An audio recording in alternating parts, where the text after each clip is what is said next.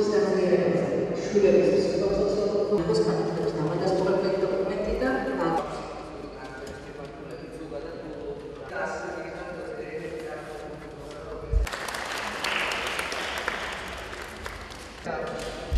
არაფულად ეს პრეზენტაციას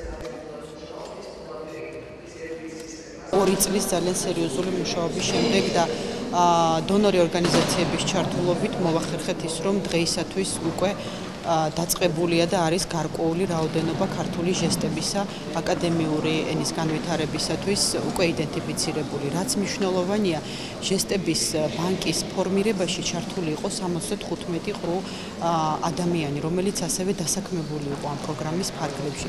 დღეისათვის უკვე არსებობს ელექტრონული პორტალი, სადაც 2700-ზე მეტი ქართული ჟესტი არის ატვირთული, რაც ნიშნავს, რომ ძალიან ბევრი პროგრამა უკვე პროფესიული განათლების შესაძლებელია, რომ განხორციელდეს ჟესტების გამოყენებით. რა თქმა უნდა, პროფესიული საგანმანათლებლო დაწესებულებები უკვე აღჭურვილი არის ყველა იმ რესურსით და რა თქმა უნდა, ადამიანური რესურსით იმისათვის, რომ მოხდეს ასეთი ადამიანების სრულფასოვანი მომსახურება და დღეისათვის ჩვენ უკვე პროფესიული განათლება მიღებული 53 ასეთი სტუდენტი გვყავს. ძალიან მნიშვნელოვანი პროექტი გახლავთ. ეს არის საქართველოსში მცხოვრები ყველა კუდასმენად დაქვეითებული ადამიანებისათვის.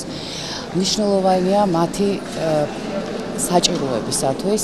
ეს არის პირდაპირი პასუხი მათი საჭიროებაზე და საზოგადოება არის ამისათვის მზად, ეს არის ძალიან მნიშვნელოვანი, ძალიან დიდი როლი აქვს განათლების სამინისტროს, იმიტომ რომ არასამთავრობო ორგანიზაცია სახელმწიფო პოლიტიკის გარეშე ბუნებრივი ამას ვერ განახორციელებდა.